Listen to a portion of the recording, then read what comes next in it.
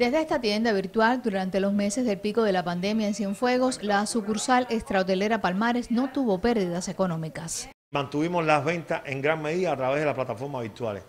Esto también nos ha dado la posibilidad de llevar nuestras instalaciones a las casas de los clientes.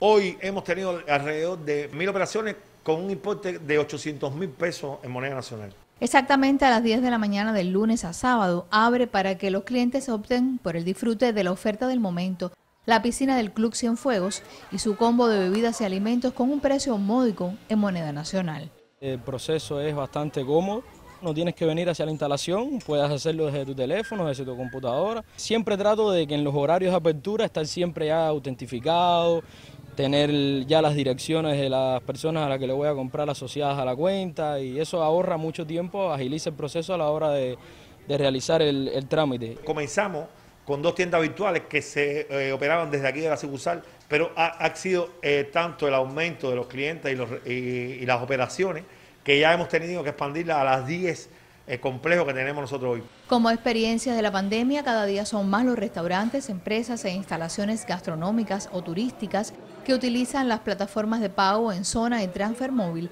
que resultan eficaces herramientas para la compra, según experiencias como la del Grupo Empresarial de Comercio, ya con 10 tiendas virtuales. Funcionando concretamente tenemos dos tiendas.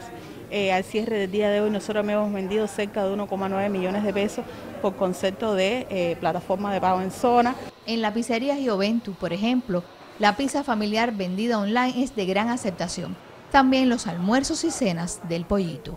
Es por en zona. ¿Te resuelve venir rápido? Me resuelve venir, mandarla a hacer, venir, recoger sin ningún tipo de dificultad. La unidad básica, el pollito, ha vendido más de medio millón de pesos por la, tienda virtual y más de 200 mil pesos eh, se ha vendido aquí en la unidad por el código QR.